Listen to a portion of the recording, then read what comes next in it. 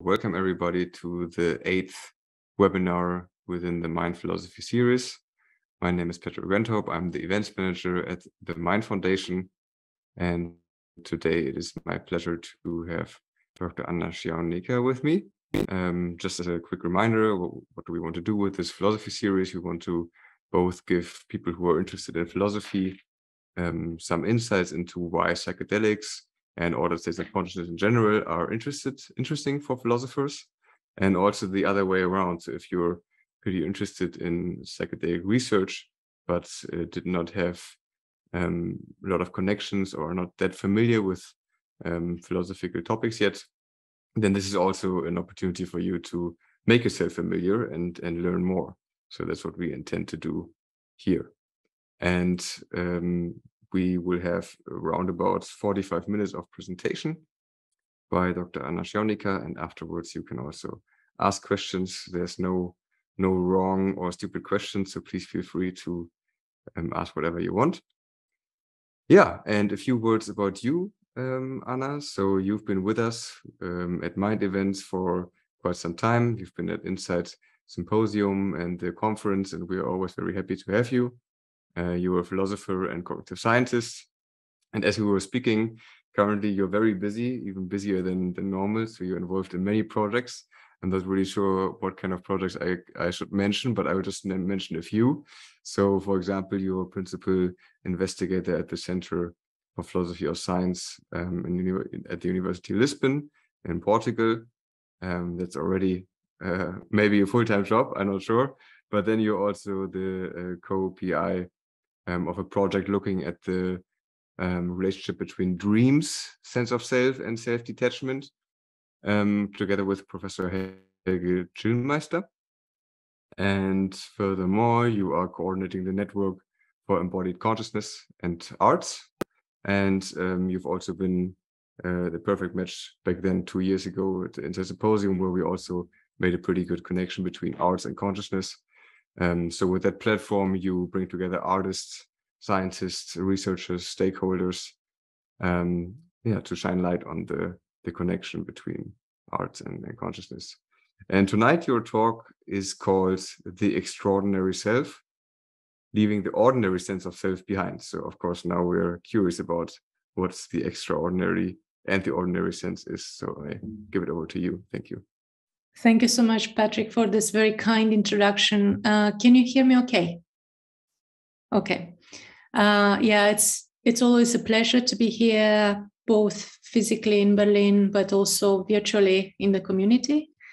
Um, I'm going to start sharing my screen. I think this one. Can you see it right now? Yeah, we can see it. Okay, good. Um, so thank you so much for the invitation. And uh, as you said, my research is highly interdisciplinary. Um, since it's like evening in Europe, I'm going to try to keep it um, engaging. Uh, but also, I'm going to try to keep it like um, accessible to people with different backgrounds from different disciplines. Um, I also want to say that some of the slides, I don't know if you already saw a couple of my talks before, but some of the slides are uh, already there for a while now. Uh, but I'm going to assume that you don't know anything about me and about my research. And I apologize in advance for those of you that already saw the slides like many times. but as the basis, I mean, the basis really doesn't change. Yeah. So um, I'm going to start with a couple of very short slide of introduction about my background. If I see this thing, okay.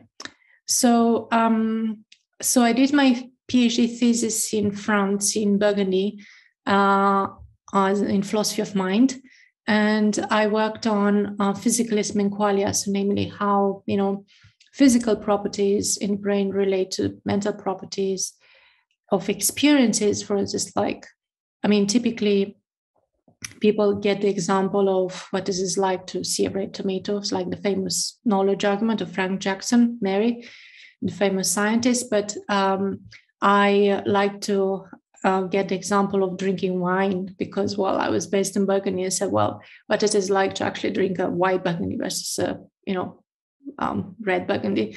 Uh, but uh, the, and also because I was interested more in the proximal senses, and as you'll see later, you'll understand better why uh, senses like taste, olfaction, and touch. Um, yeah, so that's that's my uh, thesis, and then. Um, while I was doing my first postdoc, uh, postdoc in Switzerland, I decided to jump off the theory armchair in philosophy and actually do also some um, experimental work. So I did a master in cognitive science, uh, Lyon, and I was looking more at how um, this experience develop rather than how we perceive them in the here and now. So I was interested more in dynamical approach of how subjective experiences actually um, get off the ground from square one, so to speak. Um, and then I moved with a project. I looked, um, it's a sort of like interdisciplinary project looking at uh, the sense of self and embodiment uh, in collaboration with a, um, a neuroscientist based in, um, in London. So that was a project between Porto in Portugal and UCL um, in London. Um, so I spent a couple of time in London uh, at ICN, and I was a, a, a, sort of like philosophy residence there. And um, my um, my job there was to ask annoying question to scientists: What do you mean by perception? What do you mean by social? What do you mean by interaction? Yeah, um, and one of my favorite questions was uh, to ask people around in the audience where they were listening to my talks why there are no, you know, babies around to actually take notes and you know listen to my science and people were like what do you mean and and some other was saying well i told you, you shouldn't have a philosopher in the room they ask the silly questions it's like yeah uh, but actually it's not I, I think it's not trivial at all to ask this question because what i really want to get to is the fact that when we study when we start to study certain phenomena for instance like experiences, subjective experiences, or consciousness, or the mind, or perception, we already take, endorse the perspective of an adult. Yeah. So this means that maybe the lens that we're using to investigate this phenomena is also somehow bias our, our investigation. So what I really want in my work as a philosopher, but also cognitive scientist, is actually to try to get rid of those biases as much as possible and to look at how things unfold dynamically, not how they are fully fledged um, in um, in an adult um, perspective. And why is this important? So you're probably I, I give this example many, many, many times by now, but let's assume that you want to create a minimal model of this system, right, or this system, yeah. And if you take the fully fledged structure, so to speak, of the system, then you might be very tempted to actually just squeeze the properties of the system that you find at this stage and you know put in a smaller thing and then uh, the same with the let's say the human mind and that would be uh, a mistake because if you look at how things basically unfold ecologically you can see that in order to get at this stage you need to start with this one. And this this structural form and the property of the system here may not be the same of the property of the system here. And in order to understand this system adult sense you need to basically develop um, um, examine the development of the system at any folds yeah? Not just at like this like final stage. And it's similar with um, the human um, uh, perception as well. So that's that's if you like this is the main insight i would like to almost all the time um, permeate my um, research because it's really important just like to step back and look at um, phenomena from a dynamic ecological uh, developmental perspective uh, and in doing so i'm taking what um, some people um, call the biogenic approach to cognition and i'm um, big fan of uh, Pamela Lyon's work on this. And she basically contrasts the anthropogenic approach with the biogenic approach to cognition. And um, Um, and she says, for instance, like um, the anthropogenic approach assumes human cognition as a paradigm and work down to a more general co- explanatory concept. Uh, whereas, like the biogenic approach focuses on the things that not distinguish the human perception, cognition, action from other systems, biological system, but basically what reunites us, what actually makes us links the human cognition with the, you know, other um, type type of forms of perception, action, and cognition in the other biological systems. So this means that we need to focus on the things that relate us, connect us to the other systems rather than to those that distinguish us from the other systems, biological system. Uh, so we start with facts of biology as the basis for theorizing and works up to the human case by asking psychological question as if there are biological question. I think this is an important point because, you know, if you take the mind-body problem, a kind of like fascinated philosophy for centuries. So if you take the biogenic approach, instead of looking at the body as being like some sort of like vehicle uh, designed to, or support system designed to fuel, transport the mind, um, if you take a biological perspective, is that way around, you can see that actually the mind has evolved to subserve the needs of a biological system, which is the body. Yeah, it's that way around. So the body comes first. But typically in philosophy, um, so people define, you know, the self, self-awareness, and uh, self-consciousness uh, through uh, this distinction between the subject and the object of a perception. And I'm taking this example because uh, this example shows very well how this tacit adult centric perspective may permeate the way we understand basic concepts, such as, for instance, like self awareness. So, for instance, typically self awareness is defined as the ability, you know, to you know recognize yourself on a mirror. So you have a perceived subject here and a perceived object there. Uh, and this is more like a, a, a visual distal type of like um, uh, perception, right? So I can see myself uh, from um, other people's eyes, right? Um, and there are different traditions here that distinguish between the self as a subject of an experience and the self as an object of an experience. And um, and for instance, like uh, Wittgenstein was like famously distinguishing between the I as a subject and I as an object of an experience. And a famous example here that he gives is like, I um, I can say something like, suppose I'm saying something like, I'm falling or I'm in pain. Um, I may be wrong about the fact of the content of that experience. Let's say that I'm not falling, but actually I have the dream of the hallucination that I'm falling, but actually I'm, you know, laying down safely in my bed. So in this case, I may be wrong with the content of experience, but I cannot be wrong with the fact that I am having that experience. Yeah. So the subject here is intrinsically linked to the experience of like, you know, falling.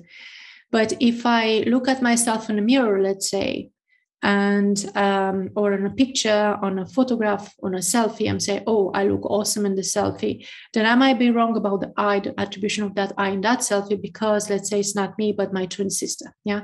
So I can be wrong with that I. Uh, so I see myself through um, a detached perspective. So that's a very typical way of defining, for instance, like self awareness. Um, and we can distinguish between reflective self consciousness, which, as I said, it involves the subject object relation between two different mental states, the reflecting and the reflected.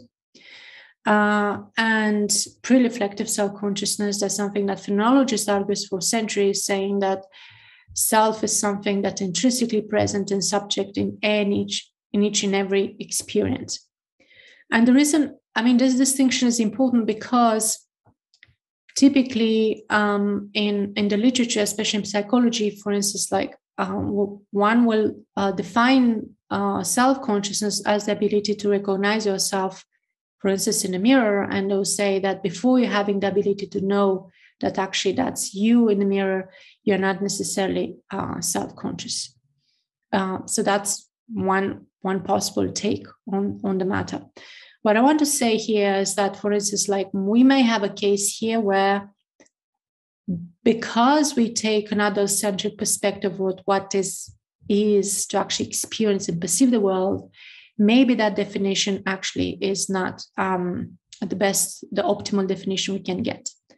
Uh, and why is that? Is because, as I said, we may be tacitly endorse uh, a visual and distal um, perspective on how we see ourselves, literally. so, what I really want to ask in my research is like, how do we really get in contact with the world at most primitive and fundamental stages? Uh, and I did some work showing that basically, well before we perceive ourselves from a distal visual spatial distant, uh, distant perspective, for instance, like ability to recognize yourself in a mirror, we spend actually way more time by in close contact with ourselves and others, but literally because our first experiences and perception about our bodies and the world arise already when we share our body with the body of another person, namely our mothers. So um, this is not a line of work I'm going to insist here, but I think it's important because you'll see later why, because it's, re- it's related to how we sense the world and how we relate to the world through the senses at the very first stages of our lives.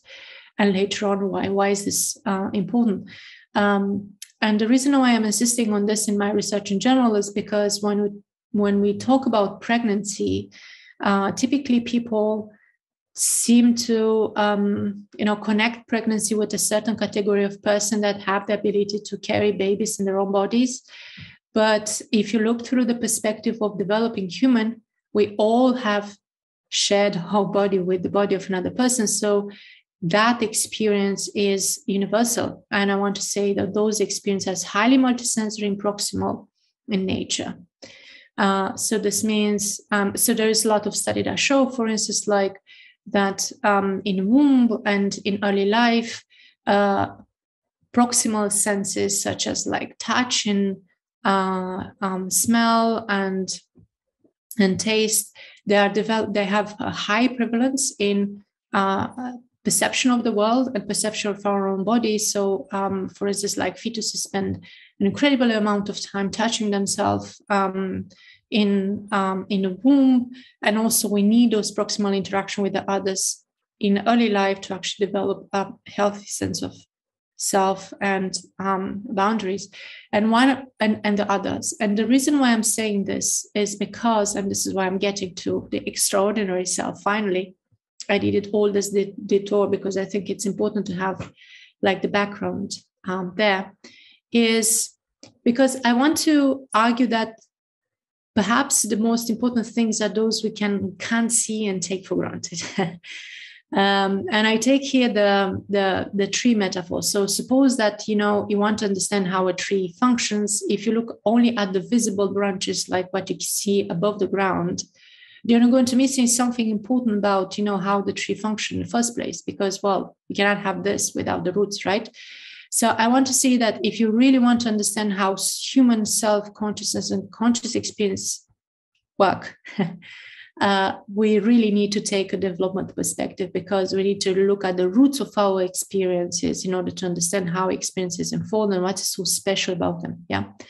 And I want to say that some of our senses through which we perceive the world are somehow invisible in the sense like we don't pay attention to them uh, because they are there pervasive all the time but they are really important for our sense of self and how we connect with uh, with the world. Uh, and I think one of the most famous metaphors that has been developed in the literature is the uh, transparent window metaphor, right? So suppose you have this like landscape, and you have the feeling that you know you look through a window and the window is so clear and so clean that you have the feeling that you you are there. You know, it's you are immersed already in the in the landscape but then you realize that actually you know there is a window there. And that allows you to um, access the landscape. And i think the, the, the nicest way to see that there is a window there um, is when there is a crack in the window. Yeah? So for instance like if you have you, you cannot see that there is something there which I would like to call them this kind of like transparent self. You cannot see this there because it's always there. but now suppose there's a crack in the self, right? In this kind of like sense of self, then um, you you there are two things that immediately pop out, so to speak. The first is that uh, you realize that there was something there when you consider there was nothing there. And second, there's like your immersiveness in the world is somehow shattered. You cannot see so clearly what connects, you know, with with the external world. So I think that's that's that's super important. And why I'm saying all this because this is how it's connected with this idea of like ordinary versus extraordinary sense of self. So here's the question that I asked myself lately with one of my colleagues and collaborators, Adam Safron. So if you know humans, like any other biological creatures, are somehow you know um, driven by this like ability, the desire to survive and eventually reproduce, and if in, in order to achieve that, you need to somehow achieve a, some sort of like predictable world and environment. Yeah, you know, to make sure that you reduce levels of uncertainty to connect with, you know, the world in a safe way and to make sure that actually you survive. Uh, so this means that you need to achieve an, an, a stable and a stable, a balanced way to, to, to know yourself and to connect yourself with the environment. Yeah. Uh, so let's call this, let's say, the familiar or the ordinary sense of self. So, for instance, if you wake up in the morning, you expect your hands to be a certain size, you accept, accept, expect your room to be a certain color, and um, you know people to speak a certain language. So we, you are somehow surrounded by a environment which is like very highly familiar to yourself. Now, a question that we asked with Adam in one of those recent papers is it seems that the humans this they have this fabulous capacity to try to get rid of this like familiar sense of self right to leave it behind right um, and to try extraordinary ways so or non non-ordinary ways to actually connect with the self and the environment yeah? And to escape the familiar sense of self and the presence in the world. Uh, and this is across times and cultures. Humans like systematically try to you know experience different things and to play a bit with the familiarity and ordinary sense of self. And for us was like this this this is looks like an interesting um, research question. And because well first of all i think novelty seeking and curiosity based behavior might provide a significant evolutionary advantage over rigid and limited limited ones uh, because well no matter how familiar you are with what is happening in your environment you know the, the world is bigger than our heads. So this means that there's always going to be something uncertain out there in the world. So being creative and curious curious about it it's a good maybe a good evolutionary advantage but one shouldn't be too curious you know too much because you know the what people say is like curiosity killed the cat. So what is the how you can strike the balance between you know what is safe you know you need some sort of stability and but also some sort of openness yeah? Uh, so the idea is if it's true that we really need to survive and reproduce and for that we need to keep our body states within a certain range for survival. Why do you do we as humans try to also step outside this like familiar boundaries? Why it's so special about it? Yeah. Um, so there are so-called altered or non-ordinary states of consciousness which involve dramatic changes in the sensory time and space perception which leads to novel perspective on uh, familiar phenomena uh, and as i said there are like many many ways to actually achieve this type of extraordinary uh, states of perception and experiences.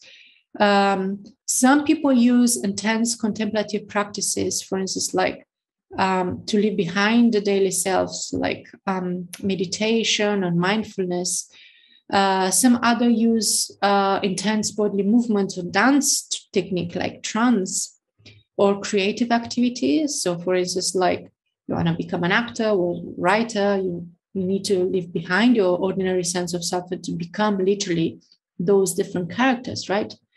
Uh, others attempt to use various chemical substances like uh, that are found in nature or not in nature to achieve modification of experience re- uh, reality for recreational, personal, spiritual, and sometimes professional purposes. Uh, more recently, people use also virtual reality as a powerful tool to achieve this transformative goal to basically, you know, leave behind what we ordinarily perceive, the ordinary lens through which we perceive ourselves and the world, and to try to drastically modify the perception of the body and the surrounding. Um, and here is a quote that I really like. Some of you maybe read French, but the translation means that the poet, or let's say the creative person, um, starts seeing by a long, tremendous, and systematic um, dérèglement. I don't know how to translate this, like un- unbalancing, unbalancing of all the senses, right?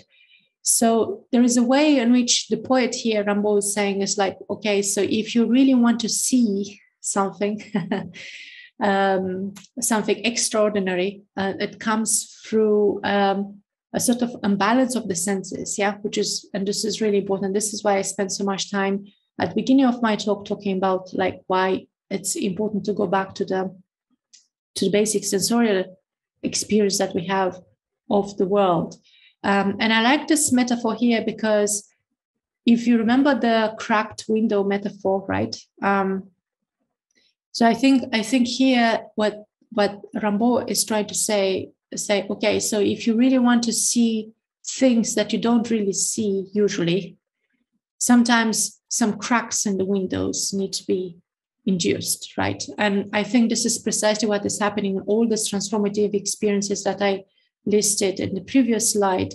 So people try to induce this type of like cracks in the window, first of all, because they want to somehow see themselves in relation to that. Because if, if let's say that the, the, that window is the sense of self, then you basically can put the finger on, you know, your self, uh, but also in relation to, to, to the world, right?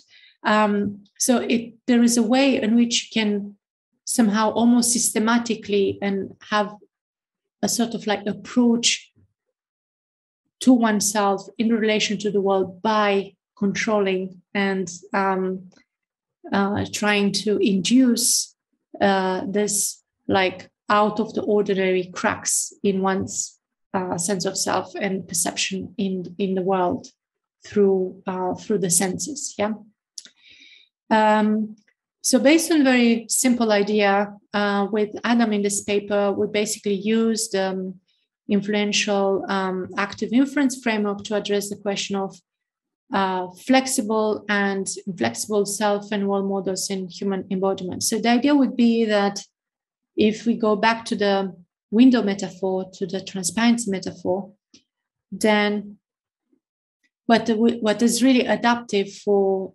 humans is how to flexibly modulate the perspective that one can take through that window, right?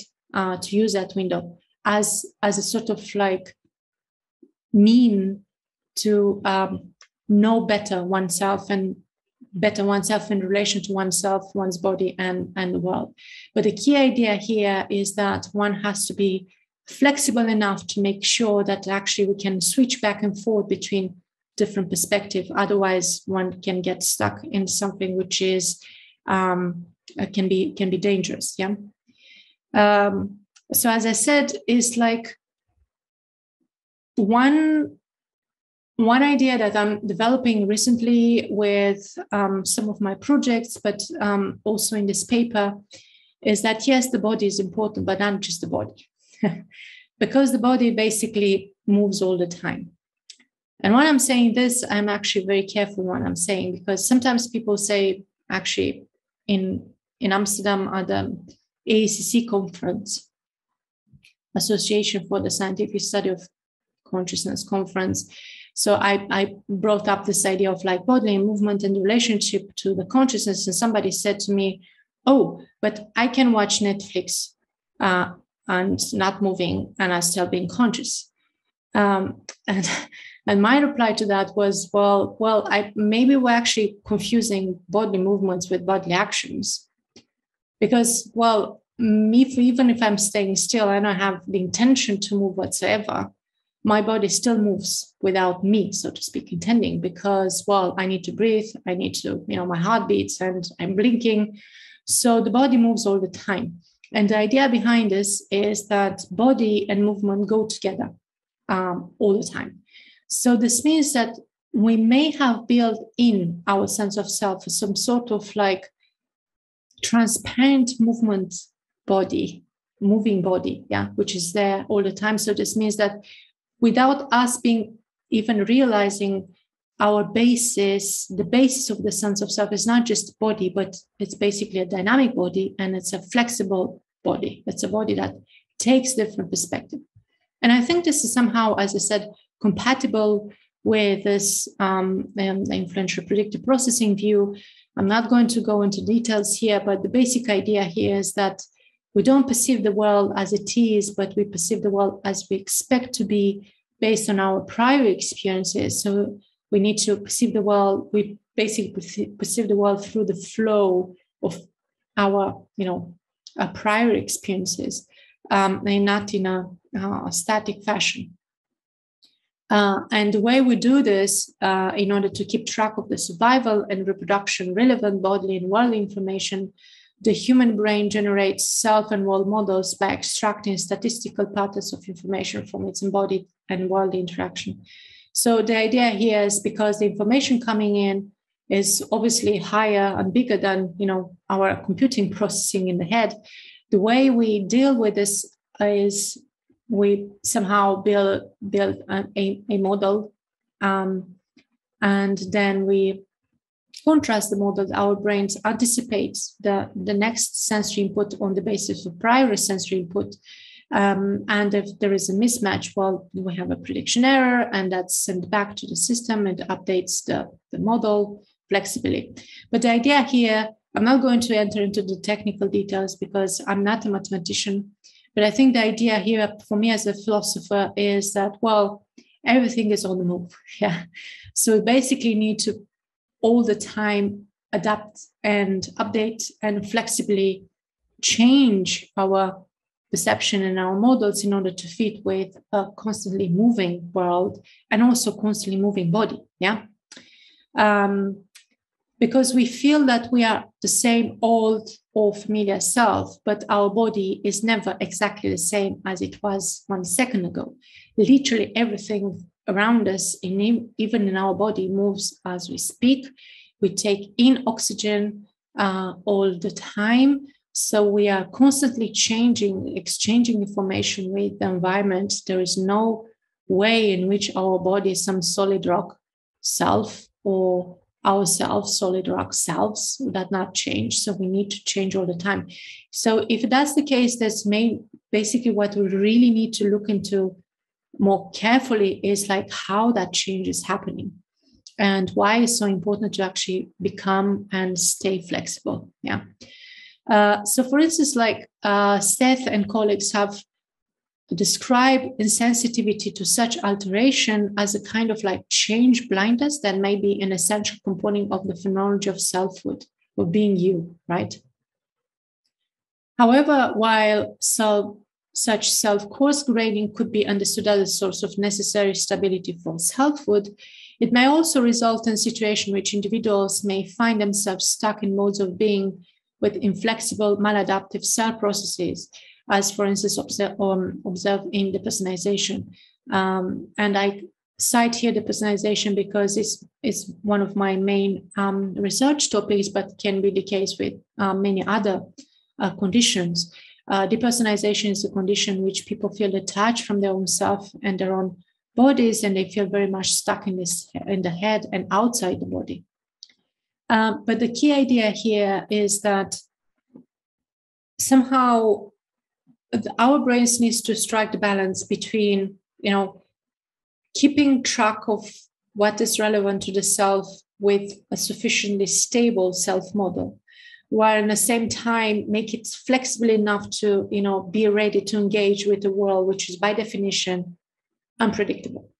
Uh, and that in the world i also include the what is coming from the body. The information is coming from the from the body as well because you know we saw it with covid you know as like um, uh, if if the virus is gets gets um, in, into we breathe in the you know the virus so this means that we may have some uh, dangers coming literally from uh, inside our body, not necessarily from the outside. For instance, I get hit by a truck. Yeah. So we need to have, we need to be to strike the balance between stable enough models of the self, but also flexible enough to, um, you know, deal with a constantly moving environment. So and one of, as I, as I listed in one of the previous slide, one of one of the ways to actually deal with this type of like instability or uncertainty is to basically crack a bit the window, yeah, uh, and to change a bit, transform a bit the way through which the way we perceive ourselves and the environment. And some people argue that one way to do it is obviously via psychedelic mechanism, yeah.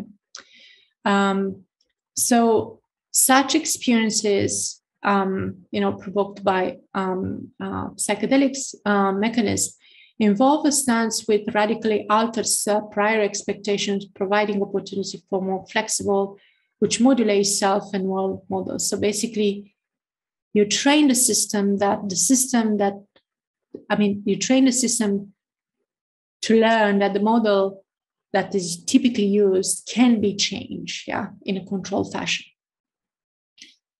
So this type of enhanced flexibility may be primary mediator for positive outcome associated with psychedelic psychotherapy, for example. Um, this is because the induction of the control deviation from the normal or default mode of operation may alter the typical multisensory integration of bodily signals underlying the ordinary self and world experiences. And such embodied processes may constitute the core or the roots of the generative model that control or constitute the individuals, which, when altered, may lead in turn to the subjective phenomenology of losing familiar ways of perceiving oneself and the world. And we want to say in this paper with Adam that actually, when people talk about losing the self, it's a misleading way of talking because what people lose is basically one typical way of um, you know, perceiving oneself, but they gain a new way, right? Um, and even the very experience of losing oneself is an experience given to a self, namely myself. Yeah. So the idea here is that the carefully controlled deviation from the normal default or the typical, if you prefer, biophysical functioning may enhance the flexibility of multiple levels, ranging from psychological processes to neural dynamics, potentially turning body, brain, mind towards a regime that is more conducive to playful exploration and open ended evolution. And the fact that these changes are intentional, this means that the sense of agency is intact, may further contribute to the feeling of widening the horizon of one's experience and ensuing well being. And in this paper, I, I'm, I'm not talking about this today here for the sake of time, but in our paper, we basically contrast this experience of like losing oneself through psychedelics and in depersonalization. And basically the, the, the main the main contrast is the fact that in one case is we still have control over something. For instance, I can choose to take the psychedelics and go through that um, transformative experiences. I, I scarcely choose to actually experience a trauma so on accident for instance right? So there's something like is simply happening to me so i don't have control over that event. So even if i do have like some sort of like transformative experience in one case i do have the control in another case i don't have the control that might completely change the balance of my um, experience. Importantly higher flexibility of self and role models may enhance novelty seeking curiosity driven exploratory behavior, which in turn gradually expand personal comfort zone and well being. However, as we say, these changes need to be carefully modulated and controlled by an agent. This means the experiencer, the person experiencing in charge. There is someone in command there, namely myself. I think that's super important. And I'm going to end with this um, with an example, uh, talking about the transformative, the extraordinary sense self experiences. Uh, I don't know if you are familiar with this ro- uh, novel by um, Siri Hustvedt. It's called The Blazing World. And why is this? Why, why I'm bringing this novel here and this example? For those of you already read it, maybe you know already, but this novel is fantastic for uh, the purpose, for the points I want to make here, because it is written in such a way that each chapter basically narrates the same event seen through the um, perspective of a different character. So there is an event happening, and then uh, the same event is described by the participants at that event through different lenses, yeah, through different characters. Okay, this is per se is, is simply fabulous work because to be able to actually, you know, step into the shoes of so many different people, characters, and to see the world through so many different lenses is, is simply fascinating. Yeah. So how flexible can one be to actually take these perspectives? And I had the chance, the, the, the fabulous chance to actually um, have a conversation with Siri about this novel last year um, at a workshop organized by Vittorio Gallese on the importance of like proximal senses like touch for instance and I, I because i was i was fascinating by the ability to actually take so many perspectives without losing oneself right how can you basically write so many different perspectives but still know who you are and i i, I asked siri precisely this question. So, how can you transform yourself? How can you leave yourself behind and to become this all these different people without losing track of yourself? So I asked the question to Siri, and the the, the answer her answer was like fabulous. Um, and she said, "Well, actually, is that way around?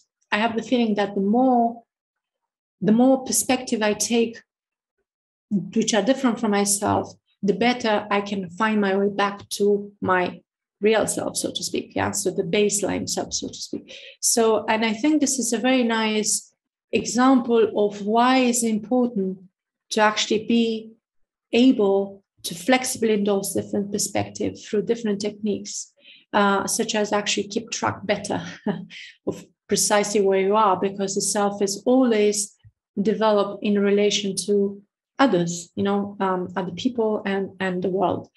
Um, and with this, I would like to conclude. I would like to, first of all, to say that this is work that we are doing. So now what I presented here is um, theoretical work, but right now, as we speak, we're also collecting data on, you know, alteration of self um, experiences through bodily movements. Uh, so I have this fabulous team here, and this work is generously funded by uh, Templeton Foundation via the uh, SNAP event. Uh, and with this, I would like also to thank uh, Adam Safron because he's my main co-author on the paper, and uh, we developed these ideas together. And finally, I would like to thank you all for your attention, and I look forward to your questions. And yeah, I'm very open to collaboration, so don't hesitate to get in touch with me. And yeah, um, come to Lisbon. Thank you. It was a pleasure to have you, Dr. Anna Ciaunica. Thank you, Thank you so much for your precious time. And we hope that you will join us again for one of the next conferences, next events. And to all participants, we hope that you also join us again in one of the next uh, events. Thank you so Thank much. Thank you so much. And I, I really hope that one day we'll be able to do some sort of like joint event between Berlin and Lisbon. oh, yeah. yeah, that would be nice. Yeah. Definitely. Let's do that. Okay. Awesome. Everybody, enjoy your evening. Bye bye. Thank you. Bye bye.